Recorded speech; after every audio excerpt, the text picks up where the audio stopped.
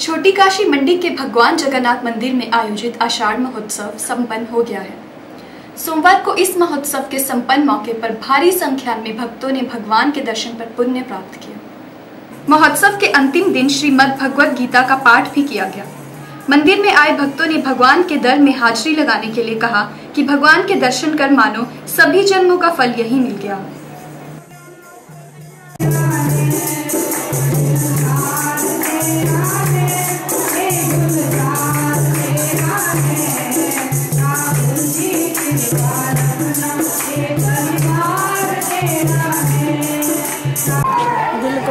अच्छा लगता है और इनकी कृपा हम तो प्रार्थना करते हैं कि इनकी कृपा सबके ऊपर बनी रहे और सबके दुख दूर करें। यहाँ आके हमें बहुत शांति मिलती है, बहुत अच्छा लगता है। तीन दिन का कार्यक्रम था, आज संपन्न हो रहा है। बहुत अच्छी तरीके से उन्होंने ऑर्गेनाइज किया हुआ है।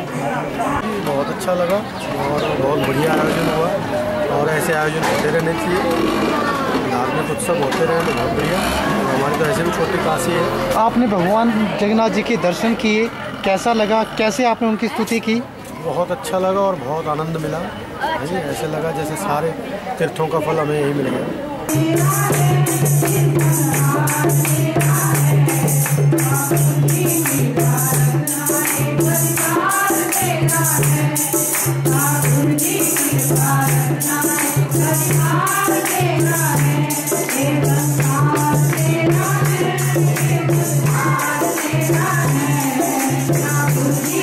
Bye.